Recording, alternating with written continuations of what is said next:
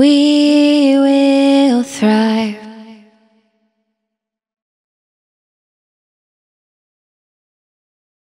Thank you so much. Hi, everyone. I love the music. love the energy of this event. It's exciting to be here. Um, yes, I love the word authenticity. When, um, for me, authenticity is being able to be who you are with your vulnerabilities, with um, you know transparency. For me it's me myself with my background my journey my path my challenges my accent. This is me you know and um, i think it's uh, if i if i share an example with you um, i always wanted to be in business for myself but when i came here i was in a corporate environment used to be in a business world had a great career but then i lost it one day. And what i've realized is universe always gives us what we need. And whatever we want that pulls us as well. And i actually decided not to pursue um, the corporate world. I decided to continue in business for myself in my own business. But all of that is driven by that inner energy by who we truly are and who i who i you know truly am. And um, creating this this community that we have here. And i think it's important to remember the roots and staying grounded as well. There are three things i want to share when it comes to developing uh, your authentic self. I think it's important to remember the strengths your strengths and your passions. Uh, number two i think it's uh, important to let go something that is not belonging to you that is that that's something that is not part of you it's important to let that go and number three i think remembering who you truly are and not only knowing it but living it every single day and remember it every single day yeah. You said letting go. Uh, I've read it a thousand times. Letting things go. How can I do it? You know, such a great question. Uh, for me, it's um, you know it's, it's it's not easy. It's exactly right. Um, you know for me it's been the in my personal experience it's been the relationship that i've been part of that i had to let that go. Um, that is something that was not working for me at a time.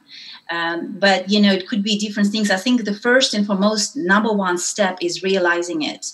And that's where it starts mm-hmm. realizing that that is exactly not working right now Okay, thank you so much for your personal insight. Thanks for sharing the story.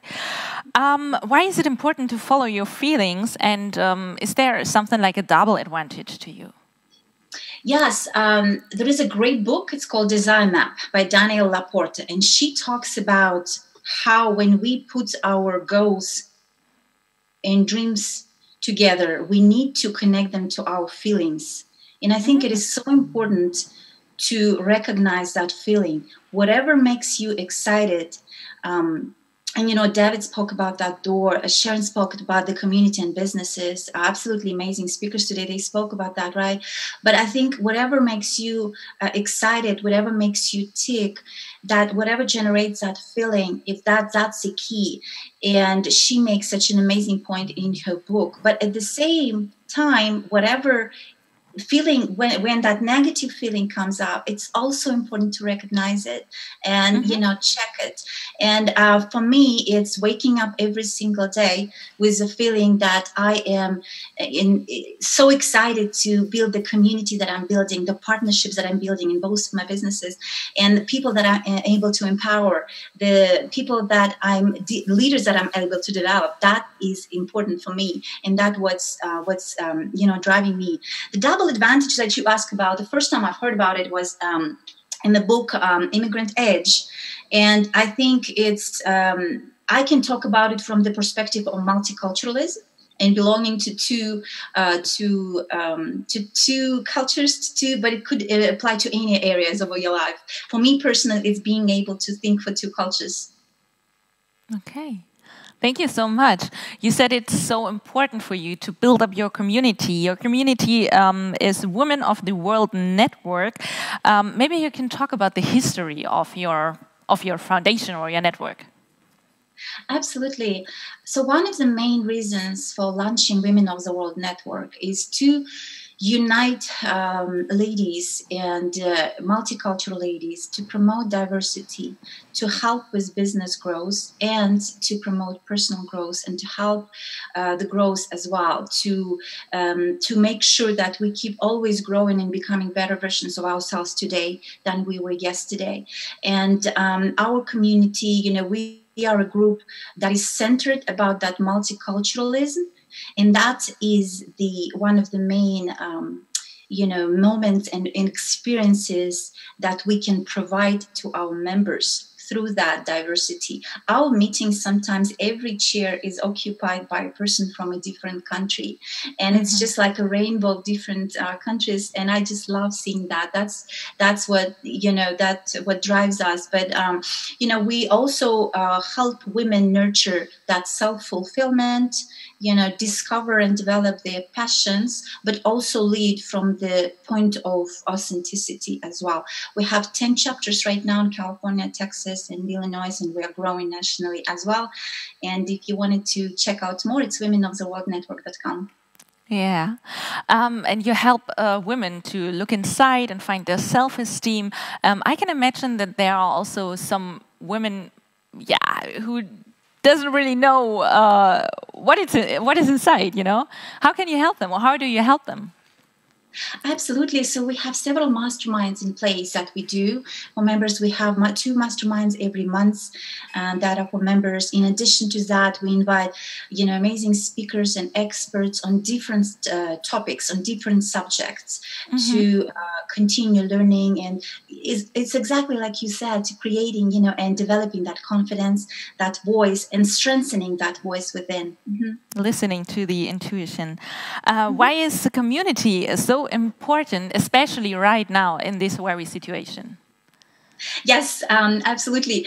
You know, I think as humans, we thrive on community and uh, we need the energy interaction. We need mm-hmm. uh, community to grow. You know, there are so many big companies, great companies that created cultures around communities. And we might not remember their names or leadership, but we, you know, people remember that community. But at the same time, it's important to be part of the community to help us grow, to help each one of us grow. And that's what Peter and Kata created here. It's absolutely amazing with this uh, We Will Thrive uh, marathon. We don't uh, see borders, uh, we don't uh, see any limits. We all together in this, you know, and it's going to empower, influence, elevate so many people. And I'm just so excited to be part of this. Yeah.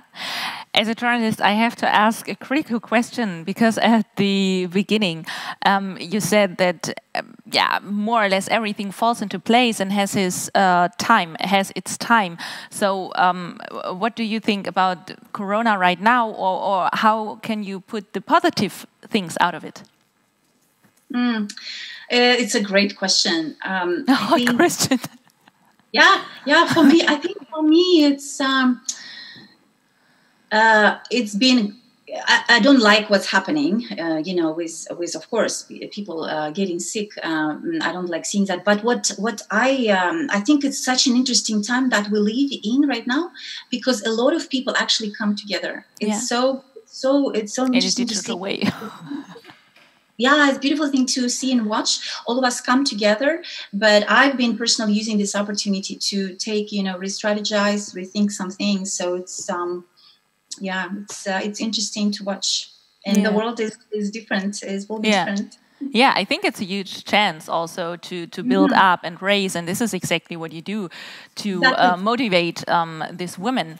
Um, you also talked about the energy. Do you feel there's a difference between the energy when you when you are together as a group or uh, with your yeah whatever with with um, calls like on a on a computer with your women? Um, yes, yes. I think um, uh, there is a there is a strength in that for sure. Mm-hmm. Uh, when we come together, um, yeah, and I think especially for women, sometimes it's harder to express that inner voice mm-hmm. or to let that inner voice come out.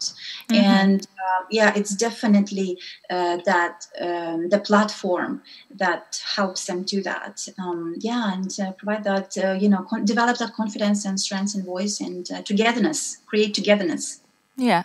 And you built this platform women of the world network.